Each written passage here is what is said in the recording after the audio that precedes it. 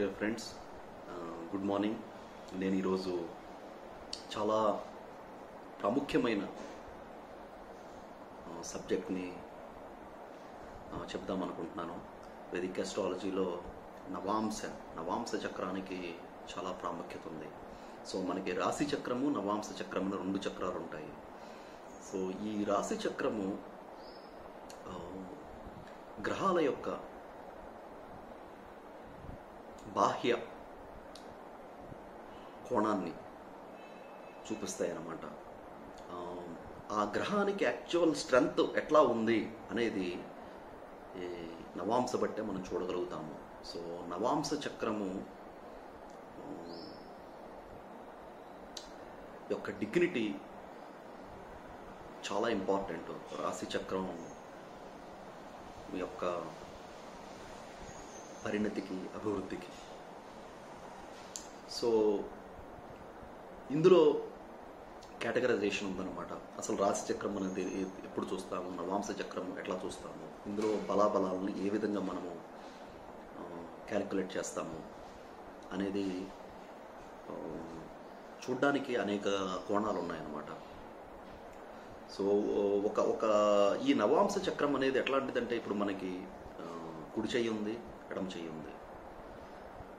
So కుడి చెయ్యి అంటే మనం ఎడం అంటే మన స్పౌస్ మన పార్ట్నర్ భార్య లేక భర్త అంటే ఇది సపోర్టింగ్ ఎనర్జీ సో మనం చాలాసార్లు లైఫ్లో um, అంటే ఎవ్రీడే మనం ఎక్కువగా కుడి చేతిని ఉపయోగిస్తాం ఎడం ఎక్కువ ఉపయోగించము.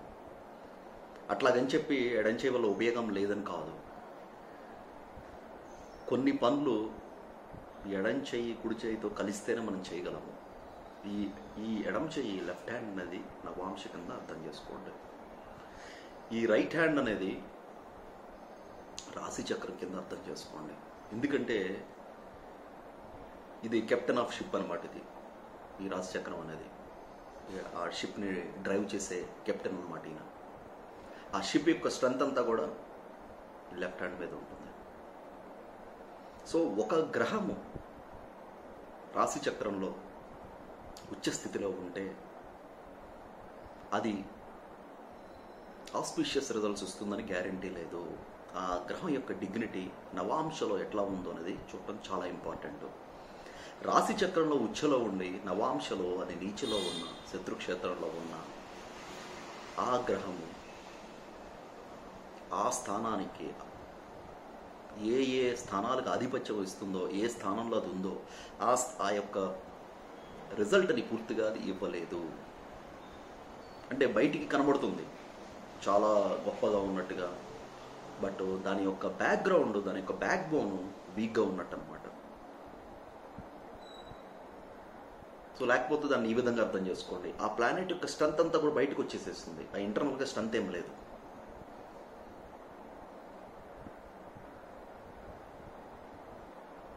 సో సపోజ్ మనకు ఒక స్థలం ఉంది. ఒక హండ్రెడ్ హండ్రెడ్ స్క్వేర్ యార్డ్ స్థలం ఉంది. ఆ స్థలంలో మనం ఒక పదిహేను మొక్కలు వేసుకోవచ్చు అనుకోండి. మీరు సపోజ్ నలభై మొక్కలు పెట్టారనుకోండి ఏం జరుగుతుంది? భూమి సారం తగ్గిపోతుంది.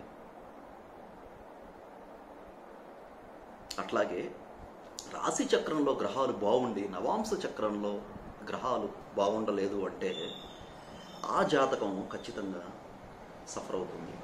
ఇబ్బందులు ఎ- ఎదుర్కొంటుంది.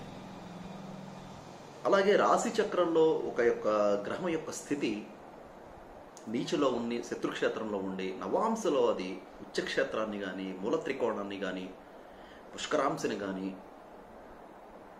లేదా మిత్రక్షేత్రాన్ని కానీ కనీసం న్యూట్రల్ న్యూట్రల్ హౌస్ని కానీ అది పొందితే ఆ గ్రహం మంచి ఫలితాలు ఇస్తుంది. సో ఇక్కడ ప్రయారిటీ ఏంటంటే మనం రాశి చక్రం నవాంశ చక్రం చూసినప్పుడు మనం ఏదన్నా ప్రిడిక్షన్ చేసేటప్పుడు ఖచ్చితంగా నవాంశ చక్రాన్ని చూడాలి. రాశి చక్రం ఎట్లాగో చూడాలి మనం.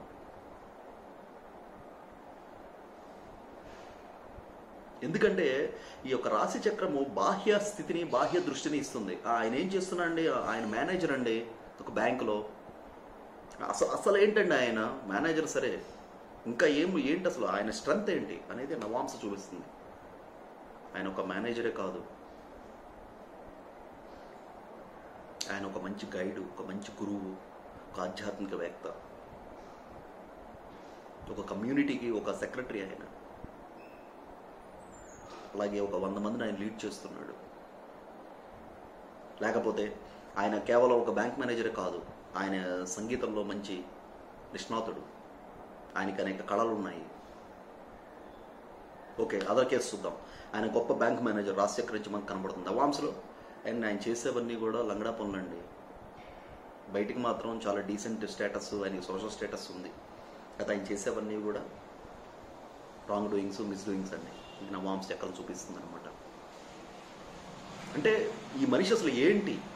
అంతర్ముఖంగా ఏంటి? బయటికి కనబడుతున్నాడు మంచిగా. లేకపోతే ఒక వ్యక్తి బయటికి గొప్పగా కనబడట్లేదు. చాలా తక్కువ స్థాయి మనిషిలా కనబడుతున్నాడు. అసలు అతని యొక్క లోపల ఇంటర్నల్ ఎనర్జీ ఏంటి? కాబట్టి నవాంశ ఖచ్చితంగా చూడాలి.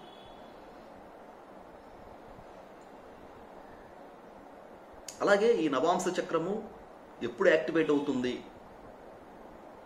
అనే విషయం మనం లెక్కేసుకుంటే కొంతమంది వివాహం అయిన తర్వాత యాక్టివేట్ అవుతుందని చెప్తున్నారు. సో అది నేను అనుకోవటం దాన్ని వేరే కోణంలో మనం అర్థం చేసుకోవాలి. నవాంశ చక్రం ఎప్పుడు యాక్టివేట్ అయి ఉంటుంది. ఎందుకంటే మనం పుట్టిన దగ్గర నుంచి కూడా నవాంశం అంతా పనిచేస్తుంది. అయితే దాని రిజల్ట్స్ మనం ఎప్పుడు చూస్తాము ఎప్పుడు రియలైజ్ అవుతాము అంటే నైంటీ ఫైవ్ పర్సెంట్ ఆఫ్ పీపుల్కి మ్యారేజ్ అయిన తర్వాత నవాంశ యొక్క నవాంశ చక్రం యొక్క ఎనర్జీ అంతా బయటపడుతుంది. ఎందుకంటే భార్య వస్తుంది భర్త వస్తాడు వివాహం అయిన తర్వాత. తర్వాత లైఫ్ స్టార్ట్ అవుతుంది బాధ్యతలు వస్తాయి పిల్లలు ఎదుగుదల.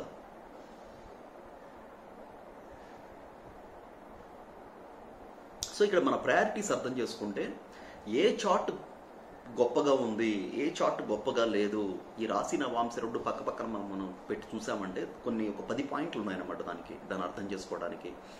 First top top most auspicious chart ఏంటి అంటే లగ్నము వర్గోత్తమాంశమైన చార్టు. అది హైలీ ఆస్పీషియస్ చార్ట్ అనమాట irrespective of ascendant irrespective of లగ్నం లగ్నంతో సంబంధం లేకుండా ఏ ల- ఏ జాతకంలో లగ్నం వర్గోత్తమైందో అది గొప్ప జాతకము ఫస్ట్ పాయింట్ రెండోది లగ్నాధిపతి వర్గోత్తమంలో ఉండటం కానీ కేంద్ర కోణాధిపతులు రాశిచక్రం ప్రకారంగా ఎవరైతే శుభులు ఉన్నారో వాళ్ళు వర్గోత్తమంలో ఉండటం కానీ అది సెకండ్ ప్రయారిటీ తర్వాత థర్డ్ పాయింట్ ఉచ్చలో ఉన్న గ్రహాలు కానీ మూల త్రికోణంలో ఉన్న రాశిలో ఉన్న గ్రహాలు కానీ అలాగే పుష్కరాంశలో ఉన్న గ్రహాలు కానీ నవాంశలో. అది కూడా ఆ యొక్క చార్ట్ని చాలా గొప్పగా ముందుకు తీసుకెళ్తుంది సక్సెస్ఫుల్గా. తర్వాత fourth fourth type of chart నవాంశలో గ్రహాలు మిత్రక్షేత్రంలో ఉండి శుభగ్రహాల దృష్టిని తీసుకుంటే లేకపోతే గురి దృష్టి ఉంటే మిత్రక్షేత్రం కానీ అధిమిత్ర క్షేత్రం కానీ ఉంటే ఉంటే ఆ గ్రహాలు అది అది fourth priority chart. Fifth priority. నవాంశ చక్రంలో కనీసం గ్రహాలు న్యూట్రల్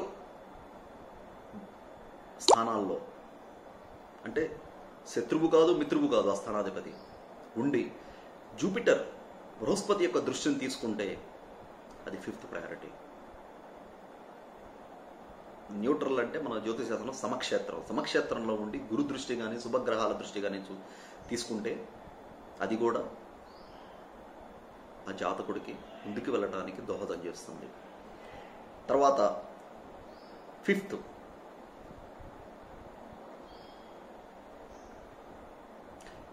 శత్రుక్షేత్రంలో ఉన్న గ్రహాలు అస్తంగతంలో ఉన్న అస్తంగతమైన గ్రహాలు కానీ గ్రహ యుద్ధంలో ఉన్న గ్రహాలు కానీ ఆ జాతకుడిని చాలా ఇబ్బంది పడతాయి ఆ దశలు వచ్చినప్పుడు. అందుకే ఇది సిక్స్త్ ప్రయారిటీ అనమాట లాస్ట్ వీకెస్ట్ చార్ట్ ఏంటంటే గ్రహాలు నీచలో ఉన్నప్పుడు. ఎటువంటి నీచలో ఉండే? నీచ భంగం కాకుండా నీచలో ఉన్న గ్రహం ఆ గ్రహము ఎంతో ఇబ్బంది పెడుతుంది. అంటే ఏం జరుగుతుందంటే రాశిచక్రము ఇది ఒక డ్రైవర్ అనమాట ఒక డ్రైవర్ లాంటిది ఆ వెహికల్కి ఆ ఇంజన్లో స్ట్రెంత్ లేకపోతే ఆ డ్రైవరు ఎట్లా డ్రైవ్ చేసినా సరే ఉపయోగం లేదనమాట ఆ వెహికల్ సఫర్ అవుతుంది.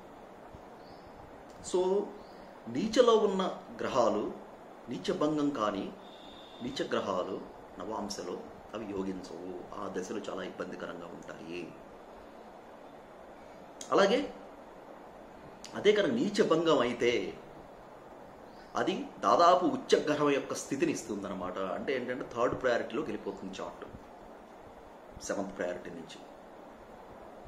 తర్వాత నవాంశలో మిత్ర మిత్రక్షేత్రంలో ఉన్న గ్రహాలు కానీ మిత్రుల చేత చూడబడిన గ్రహాలు కానీ వాటి దశల్లో ఎటువంటి ఫలితాలు ఇస్తాయి అంటే వీళ్ళకి ఫండమెంటల్గా ఎనర్జీ లేకపోయినా సరే ఒక సపోర్టింగ్ ఎనర్జీ వీళ్ళని సేవ్ చేస్తూ ఉంటుంది.